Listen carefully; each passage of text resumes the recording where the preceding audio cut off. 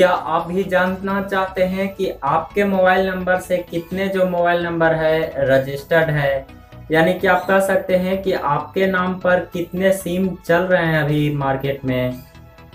ये आप अगर पता करना चाहते हैं तो वीडियो को पूरा देखिएगा और अंत तक देखिएगा ताकि आपको पता चल जाए। कई सारे सिम ऐसे होते हैं जो आपके नाम पर लिए जाते हैं, आपके नंबर से रजिस्टर होते हैं, लेकिन उसको आप नहीं चला रहे हैं।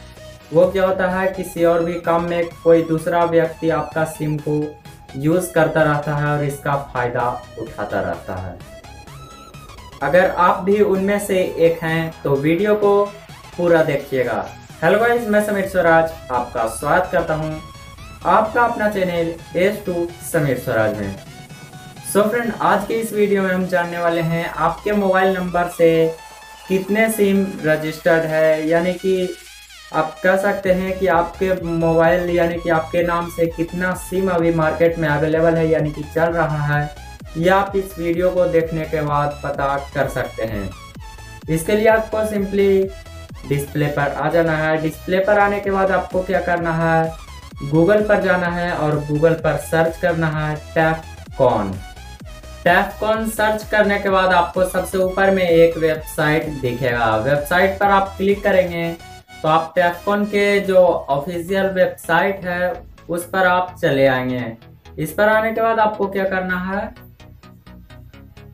यहाँ पर आपको अपना जो मोबाइल नंबर है, वो इंटर करना है। मोबाइल नंबर डालने के बाद आपको इस पर क्लिक करना है और इस पर क्लिक करने के बाद आपके मोबाइल नंबर पर एक ओटीपी जाएगा, यानी कि वन टाइम पासवर्ड उसको क्या करना है? यहाँ पर फिल करना है। यहाँ पर फिल करने के बाद आपको फिर से इस पर क्लिक करना है। अगर नहीं ओटीपी गया है तो रिसेंट OTP पर आप क्लिक कीजिएगा, फिर से आपको ओटीपी जाएगा। इसके बाद आप देखें कि आपके सामने जो है, जितना भी मोबाइल नंबर रहेगा, रजिस्टर आपके मोबाइल नंबर से, वो आपके सामने आ जाएगा। अगर आप चाहते हैं कि आपको अगर लगता है कि कोई सिम इसमें से आपका नहीं है, यानी कि आप नहीं यूज़ कर रहे हैं तो आप जो ऑप्शन दिया गया है, उस पर आप रिपोर्ट कर सकते हैं। फ़र्स्ट में लिखा हुआ है मतलब आपके नाम पर सिम आया है, लेकिन आप इसको यूज़ नहीं कर रहे हैं। तो आप फ़र्स्ट वाला इस पर क्लिक करेंगे और रिपोर्ट पर क्लिक कर देंगे।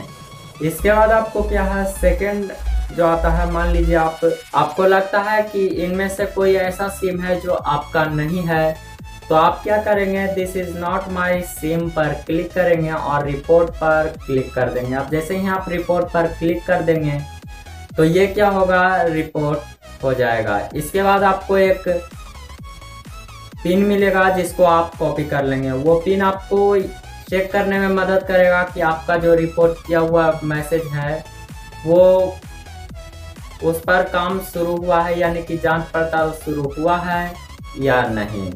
तो चलिए, उम्मीद है कि समझ गए होंगे। तो मिलेंगे अगली वीडियो में। तब तक, जय हिंद।